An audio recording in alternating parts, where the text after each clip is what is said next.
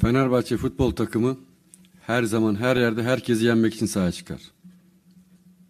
Kızıl takımına da kazanmak için sahaya çıkacağız. Her ne kadar hazırlıklarımız az da olsa kısa bir dönemde hazırlanarak buraya gelsek dahi biz her maçı Fenerbahçe olarak kazanmak için sahaya çıkarız. O maçta kazanmak için çıkacağız. Turnuvadaki takımlar Avrupa'nın önde gelen takımlarından oluşturuluyor şu anda.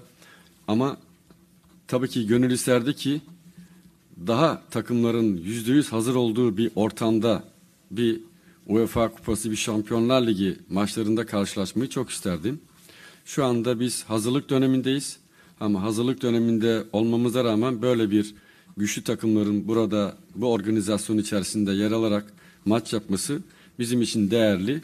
Biz tabii ki hem hazırlıklarımızı sürdürüp hem de kendi kalitemizi ortaya koyarak e, buradan alacağımız güzel e, oyunlarla, güzel mücadeleyle, güzel izler bırakarak ülkemize böyle dönmek istiyoruz.